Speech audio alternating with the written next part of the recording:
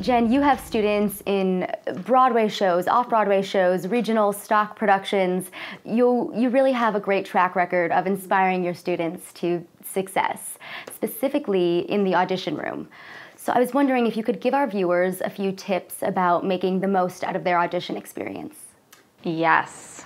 Where to begin? I will say that every audition is an opportunity for human beings to connect to each other. So I think that a lot of actors are um, releasing this possibility of being able to form a relationship with someone in the audition room, whether or not they cast you. My husband has this saying, which is you never actually know what you're auditioning for.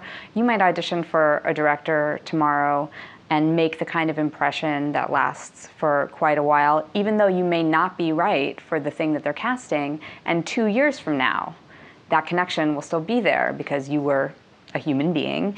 And uh, something could come out of that much farther down the line. So I would say um, one of the things I talk about a lot in my classes are what's the difference between urgent and important.